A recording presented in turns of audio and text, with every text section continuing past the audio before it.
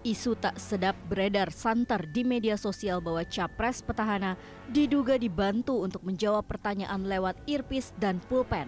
Kalau kita bicara mengenai netizen ya, ini ter, uh, spesifiknya netizen. Menurut saya gitu, kebanyakan nonton film-film spionase sih. Sebetulnya kalau kita bicara kita bicara tangan ter, seperti ini, posisi seperti ini, udah saya bahas di awal Iya, tadi. grogi gitu ya. Itu sebetulnya dua dua paslon ini sama-sama itu pasti ada rasa grogi di awal. Kalau nggak grogi itu malah aneh.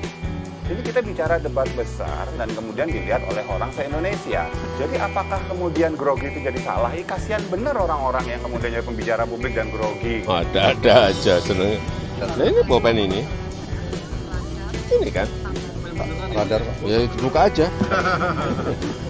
Itu fitnah-fitnah seperti jangan diterus-terusin lah, nggak bermutu lah. Ya, silakan Anda ketawa.